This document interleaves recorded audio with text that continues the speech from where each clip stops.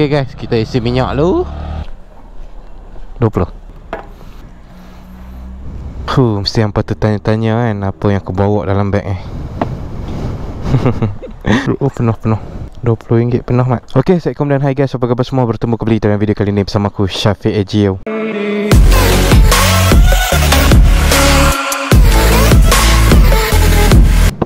Aku tunjukkan dululah dekat hampa apa yang aku bawa. Haa Besar bag ni kan So ni posh bag ku. Aku malas nak pakai kat pinggang So aku letak je dalam ni. Ni aku bawa cacing Satu set dengan dia punya tempat cucuk dengan cacing.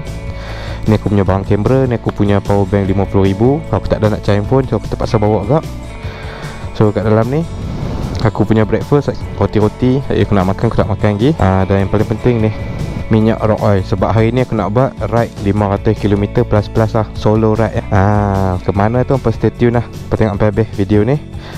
Uh, itu je yang aku bawa. Sekarang ni aku nak breakfast dulu. Lepas tu kita sambung vlog atas motor. Ok stay tune. Okay guys, so kita kembali di atas onboard atau motor vlogging lah. Uh, Okay guys, so hari ni uh, aku punya ride sebenarnya tak ada hala tuju. Dia bukan tak ada hala tuju macam mana. Uh, Aku punya ride hari ni santai uh, Sebab apa yang aku nak buat ini Aku nak pergi pusing satu negeri Kedah lah. Uh, Daripada hujung ke hujung ke tepi ke pantai uh, Main balik tempat aku. So macam aku Aku duduk dekat belah-belah Orang panggil Kedah Selatan lah Bandar Baru Ibu Tebal Buntak Perak Penang Kedah kan. Uh, So dia sempadan dekat belah-belah Kedah Selatan. Yang paling hujung nak Kira hampa mula-mula masuk Kedah Daripada contoh daripada Perak Masuk Kedah hampa jumpa tempat aku dulu lah. Aku akan start dengan Pi Baling dulu uh, Aku dari Bandar Baru aku akan masuk Kulim Aku masuk Sungai Ulang. Lepas tu akan aku Aku akan pi ke Baling. Uh, Lepas aku daripada Baling tu Aku akan masuk Sik. Uh, So dari Sik aku akan masuk belah Tasik Beri. Ah, so belah sini yang aku agak risau sikit ni. Sebab apa? Aku tak pernah lalu. Aku memang jarang sangat lalu.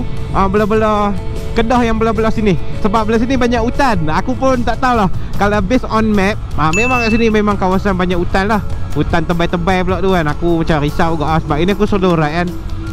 Ah, Tapi tak apa kita tawakal ya. Ah, Kita enjoy aja Enjoy the ride.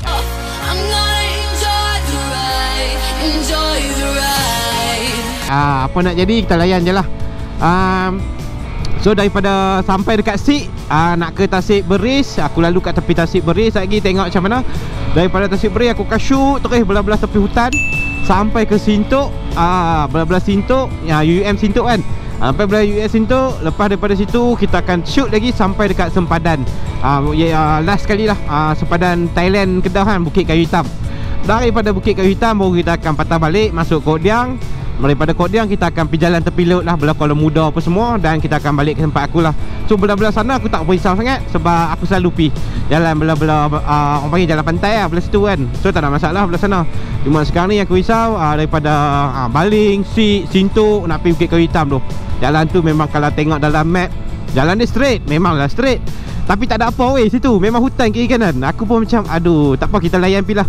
Sebab ni lah panggil Ride Explore Vlog. Kita nak tengok Kita nak explore negeri uh, Kedah Negeri aku lahir sendiri Negeri aku tinggal. Walaupun duduk Kedah dah lama Tapi tak pernah sampai Belah-belah hujung Belah-belah tepi Orang panggil sepadan Kedah kan. So stay tune Untuk vlog kali ni Memang santai. Uh, Dan hari ni aku bawa bag aku lah. Tail bag yang aku beli hari tu Yang aku buat unboxing. Untuk aku test uh, Nak tengok macam mana? Ah, dia punya perjalanan 500 km ni kan? Ah, Dia steady ke tak steady ke? Dan Aku dah bawa juga minyak ah, chain loop daripada oil Sebab aku nak test. Sebab tadi aku dah pakai dah kat rumah. Ah, So dia memang sangat-sangat orang panggil ngam lah. Sebab dia bukan ah, oil base. Saya tunjuk dekat ampol lah Dia bukan oil base. 100% ah, Dia ada macam buih-buih ah, Tapi benda tu sat je meresap Dan tak ada tinggalkan orang panggil Lepas dalam. Dia kalau ikutkan base on dekat situ 20 minit lah. Dah, Dia suruh tunggu. Tapi aku tadi dalam 10 minit Aku dah boleh jalan. Ha, Memang tak ada masalah Tak ada melimpah ke Recik tu percik kat celah-celah hari Memang tak ada. So memang ngam. Ha, Sekali aku tunjuk dekat Ampol Lepas kita jalan dalam 300km Aku akan liup sekali lagi. Lepas tu kita akan teruskan perjalanan lah. So stay guys. Kita jumpa dekat depan tak lagi. Ah, okay. Okay So sekarang ni aku baru exit baling. Uh, Lebih kurang sejam dah aku ride. Uh, Memang layan lah jalan Apa panggil kulim baling ni kan. Street lah Okay so sekarang ni Aku nak cari makan lah Makan tengah hari. Walaupun sekarang ni awal lagi. Tapi aku, perut aku dah berbunyi-bunyi Dah lapak eh. Oh laksa eh. Menarik eh. Tak apa kita cari makan dulu. Lepas tu lagi baru kita sambung perjalanan untuk ke Sik lah. Dan aku nanti aku lalu-lalu aku dah nampak nasi kandak ketapang Ah ni nampak ni nasi kandak ketapang Aku macam Ui kalau kena nasi kandak pagi-pagi ni macam menarik juga kan Ha, lepas tu jomlah kita singgah kena nasi kandang sat. Huh, lawa weh kawasan baling ni. Ni dekat belah-belah tepi Gunung Baling lah kawasan dia. Tapi apa yang aku suka pasal baling ni lah kan, pekan pekan baling ni, dia punya kedai makan banyak gila weh. Macam-macam jenis dah, nasi kandak ketapang lah. Ah ni cakotiau lah, lepas tu nasi ayam tempura lah. Kedai makan dia hampa tak payah risau lah. Kiri kanan ayam golek pun ada. Kiri kanan Memang banyak gila kedai makan. Ha, Apa boleh berhenti mana-mana. Sebab dia buka pada aku awal ya, Dalam pukul 10 tadi dah start orang dah. Orang cakap kedai tu dah boleh pergi singgah makan dah. Memang banyak. Okay so sekarang ni kita akan terus ke Tasik Beris lah Aku tak pernah sampai ke Tasik Beris Aku tak tahu rupa Tasik Beris tu macam mana. Tapi kalau dalam map memang dia Tasik lah. Memang ada orang cakap kawasan uh, yang warna biru ataupun ayak kan. Ha, Memang kawasan Tasik. Tapi ni first time lah aku akan ke Tasik Beri Aku tak pernah pergi lagi Tasik Beri So let's go. Uh, Macam-macam hal. Okay guys. So tadi aku ada masalah kamera sikit. Betul-betul nak naik uh, Kawasan Orang panggil apa Jalan sik yang berbukit-bukit ni Aku nak tunjuk dekat hampa. Sekali kamera aku hang Tu aku nak kena berhenti tepi jalan pula kan Dekat kawasan bukit-bukit. Aku pun risau Aku kalau boleh tak mau berhenti lah Kawasan-kawasan macam ni. Okay guys. Let's go. Aku nak tunjuk apa je Jalan-jalan Dekat kawasan Sik ni.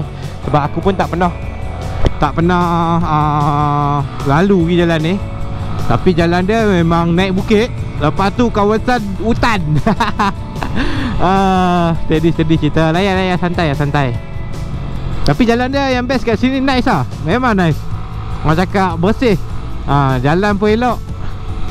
Ha, Tapi ni tak tahu lah Nampak ada tanah-tanah pula kan. Oh benda naik bukit pula.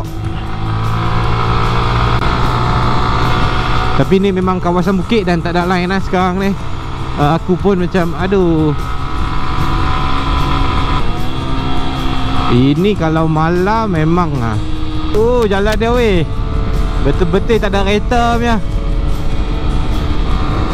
Kiri kanan ladang getah ha. So okay guys Sekarang ni aku dah sampai dekat kawasan Tasik Beris. Yang aku tak pernah lalu ni Memang first time aku sampai sini. Dan kawasan dia memang sangat-sangat lawa pada aku. Ah, Dengan jalan dia yang cantik kan. Oh memang nice gila. Lawa weh Cuma sini tak boleh berhenti kot. Tapi tak apa Kita cuba berhenti depan tu tengok.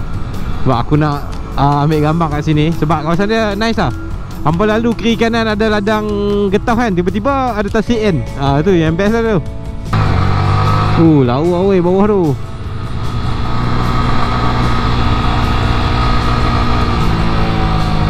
Nah, Hill Lake View Resort. Aku gamble je. Masuk Kena halau, kena halau lah Sebab dia kata kalau kita tak bermalam Kita boleh parking kat sini lah. Kalau nak tengok view ke apa kan. Kalau hampa main bermalam kat sini Apa booking resort ke apa Aku rasa boleh parking lah kat kawasan bawah tu. Tapi tak apa Kita main tadi. Tadi kita nak santai-santai Nak ambil angin tu tengok. So view dah memang lawa weh. Aku tak expect dekat kawasan Kedah Ada Orang cakap pusat peranginan lah Yang macam ni kan. Aku expect kalau Tasik ni Kalau tak Royal belum Dengan Tasik Kenyir lah Antara dua ni lah Kalau orang cakap pusat peranginan yang bahagian-bahagian Tasik yang famous dekat Malaysia ni. Ha, Jarang lah kita dengar Oh pusat peranginan Tasik Beris kan ha, Jarang-jarang Aku dah ride hampir 3 jam macam tu lah 3 jam lebih, 3 jam setengah. So sekarang ni masa untuk kita gunakan chain loop daripada raw oil Untuk kita loop sekali lagi lah. Ha, Sebelum sekali aku balik tu Untuk ke rumah aku. Sekarang ni kita nak guna chain loop raw oil. Ha, Dia simple je. Apa yang best pasal chain loop ni kan Beza dengan chain loop uh, yang lain Dia uh, oil base juga Ada grease. Tapi beza dia Dia cepat meresap lah. Dia cepat meresap Dan dia tak ada Tinggalkan macam berminyak-berminyak Menitik apa tak. Kalau, kalau ikut kat sini Dia kata 20 minit Lepas hampa spray Baru hampa boleh ride balik lah. Uh, Tapi Aku dah cuba. Dalam 10 minit tu Dia dah meresap habis lah. Dan yang lagi best uh, Chain loop ni Dalam perasan dia tak ada satu lagi Macam batang yang panjang tu lah. Sebab apa? Sebab dalam dia dah ada panjangkan sikit lah. Beza dengan apa? Chain loop chain loop yang kebanyakan ada dekat pasaran dia ada satu batang yang panjang tu. Kalau batang tu hilang batang tu hilang hampa tak boleh guna dah chain loop tu sebab bila spray dia semburan dia tu besar. Ha, tapi yang ni dia tak ada lah panjang mana. Kira orang cakap lepas lah kalau hampa nak guna tu. Dia keluar macam buih dan nanti dia akan hilang. Dia akan meresap masuk. Itu yang aku suka pasal chain loop ha, daripada raw oil ni. Kan ubah tayar motor aku sikit untuk bagi kena keseluruhan lah